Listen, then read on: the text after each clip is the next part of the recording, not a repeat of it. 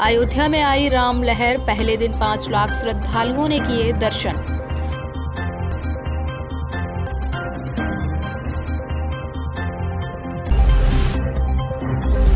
राम मंदिर प्राण प्रतिष्ठा से खुश नहीं कमल हसन, बोले मेरा जवाब वही जो 30 साल पहले था।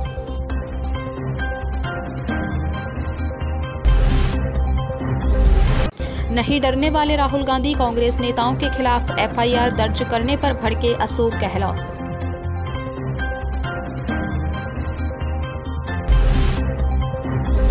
टपकेश्वर मंदिर में यज्ञ करने के बाद धामी ने प्राण प्रतिष्ठा कार्यक्रम के किए वर्चुअल दर्शन।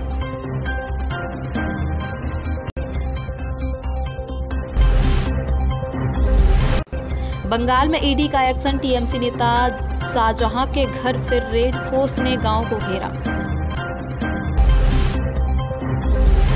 बाबर काल के गहरे घाव को राम मंदिर की प्राण प्रतिष्ठा ने मिटा दिया, बोले अमित शाह।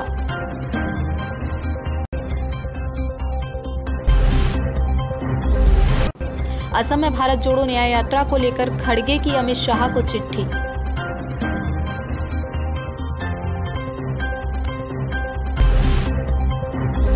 यूपी का पचहत्तरवा स्वतंत्रता दिवस आज राष्ट्रपति पीएम मोदी रक्षा मंत्री ने दी बधाई, सीएम योगी बोले आत्मनिर्भर उत्तर प्रदेश।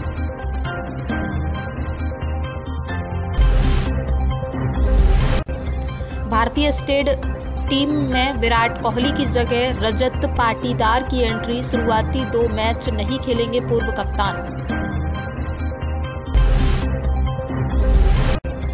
हेमंत सोरेन स्वीकृति पत्र वितरण समारोह में हुए शामिल, कहा, अब प्रदेश में गरीब गुरबा लोग बढ़ते जा रहे